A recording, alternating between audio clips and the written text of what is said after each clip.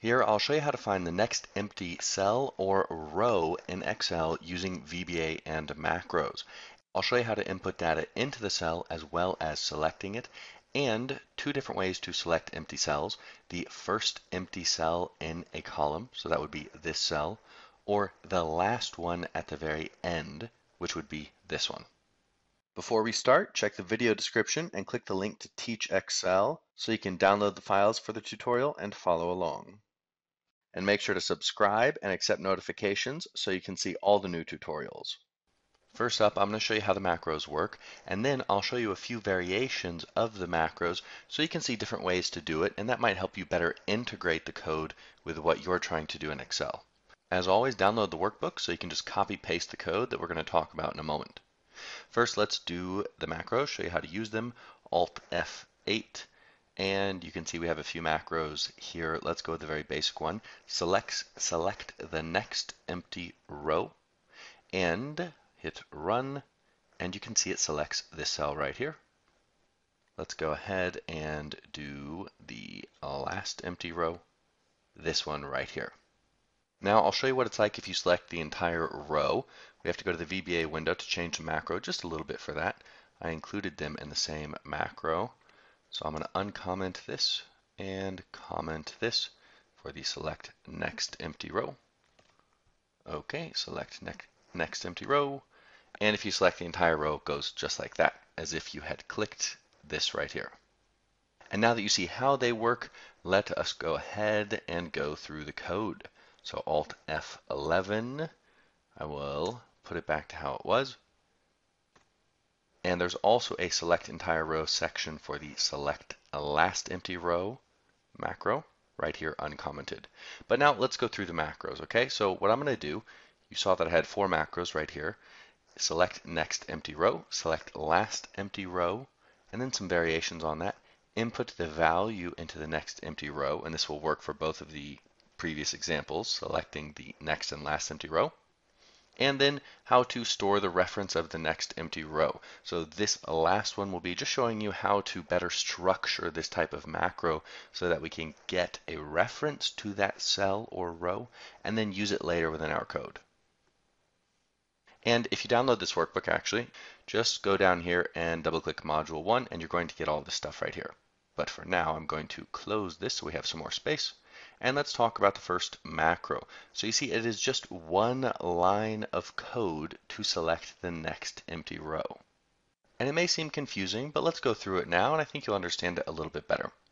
So you want to start out by telling the macro, telling Excel which cell you would like to start with. So this determines what column we use. So if you use column A, you're going to put A1 here. Column B, put column or put B1, C, C1, D, D1, etc. And whatever row you use, in this case it's row 1, that's the row it's going to start at in order to perform sort of the calculation that gets the next empty row or cell. So it seems kind of confusing, but let's move to the next part and it'll actually make it a little bit easier to understand. So then we have dot end XL down. Now what's the easiest way to explain this? Well, let me go to the worksheet really quick. Remember range A1? All right, so let's go back here. Now, when you put range A1, it is as if you have selected cell A1. And the dot end part is essentially hitting control arrow key down. So really, that is all that range A1 and dot end XL down are doing. So think of dot end as hitting the control key and XL down is using the down arrow key on the keyboard. There's also XL up, left, and right, or two left and two right. So you can do it with every arrow key, left, right, up, down. Now you'll notice that once you do this, select A1 and hit control down, you get cell A3, but you don't want cell A3, you want the empty one. So we have to take this reference and push it down one. So we get to offset. And if I, you'll see offset one here, that pushes it down one row. If I delete this and put the parentheses back, you'll see it has two arguments, both optional. Offset it by the row or the column. We want a row offset. How much? Just one. So we put one. So that bumps the reference down one. So now we've started here, control down, we've offset it by one, and we are here. But now we have to decide what to do once we are here. Do you want to select it? Do you want to input something into it? Do you want to select the entire row? What do you want to do? Well, for the simple example, we are just going to select it. And so the result of all of that is what I showed you a moment ago. Select the next empty row, Alt F8, next empty row, just like that. So, range, where you want to start, dot end XL down, where you want to go using a control and an arrow key essentially.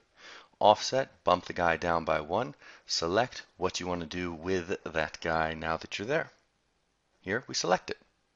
Now, if you want to adapt that to select the entire row, we simply add one more thing. You can see everything here is the same, even the dot select, except for entire row. And if we go ahead and delete this and type period, you can start typing. You can see you can also select entire column if you want, but that's not what we want here. Select entire row. Well, actually, just entire row, and then you do something with it. In this case, we're going to select it. Now I'm going to comment this out so it doesn't run, but leave it in there as an example.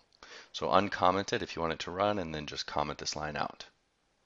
Now, the very next one, select last empty row. It's very similar, but there's a few things that have to be changed. So we have the big main parts that are just the same, right? You tell it where you want to start. You tell it what you want to do with the control key. Then you offset it, and then you figure out what to do with the empty cell. But this one, select last empty row, so remember that's the one that will select this cell right here. We have to, in order to get the last empty row in the range and skip all these dudes in the middle, any empty guys in the middle, we have to start from the bottom and come up. So it is essentially as if we start down here in this cell, and then we do control up, we get this cell, offset it down one, we get this cell. So that's all we're doing. In order to do that, we have to use this sort of convention. Or there's a couple different ways to do it actually, but this one's kind of easy. Follows this one right here where you go range A1. Well, here you do range A, and then you have to say what the number of the last cell is. Since there are older versions of Excel that have fewer rows, well, you just use rows.count. That counts how many rows are in the spreadsheet. That'll give you the last row. So a million whatever and then using the ampersand here just combines the A with the million whatever, the number of the last row. So this effectively ends up being, what is it actually?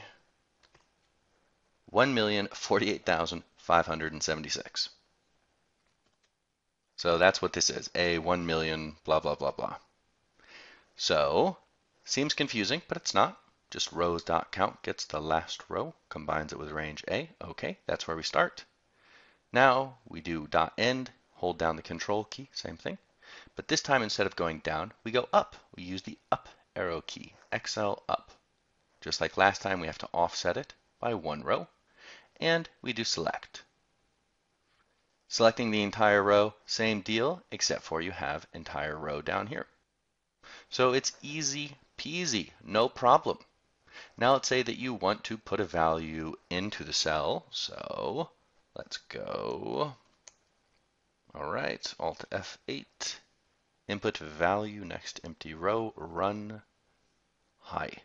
That should probably be a last empty row. let's change that. believe it's the same one as this one. Yeah, last empty row. And so all that we did here that's a little bit different is change the select to dot value. Everything else is the same. We go for the last row, dot end XL up, offset 1, but then instead of selecting the cell, we put something in it. We change the value of that cell. You do that by changing the value property. So dot value instead of dot select. Once you've done that, you just do an equal sign and whatever text you want, or whatever you want in there really. So you can see that's pretty easy to do.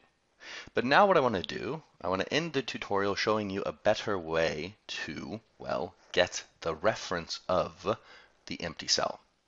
So here, we just did it right here, one line. Okay, that's easy peasy. But once you have a bigger macro, you're not just going to want to have one line like this in the middle of your macro. You want to have a little section at the top of your macro, probably, or wherever it's needed, that gets the reference to that empty cell, and then you can use it later.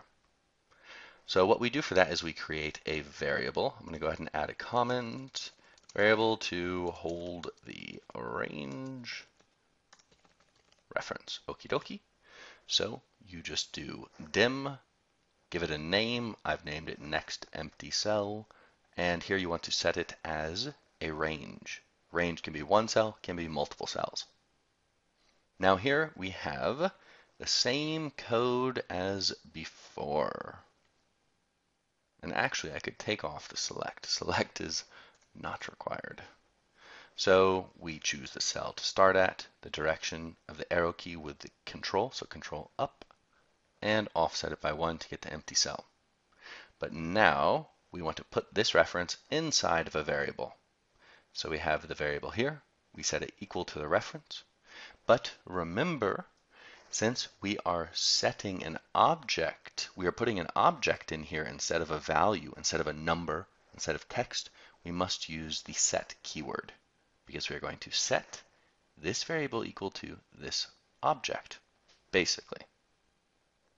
So hopefully that'll help you remember that you need to put set right here. Now, once you've done that, you can do whatever you want with it we're down here. You can change the value of it just by referencing the variable. So blah blah dot value equals hi again. Or you'll see once we just start typing, next empty cell dot, you have all the options that you would need. So select or whatever you want, or dot entire row dot select whatever you want. So maybe I will leave this in here. Input text select the entire row. And I'm going to comment this guy out. And now let's see how it works. Alt F11, Alt F8, store reference, should be last empty row again, but whatever, run, hi again.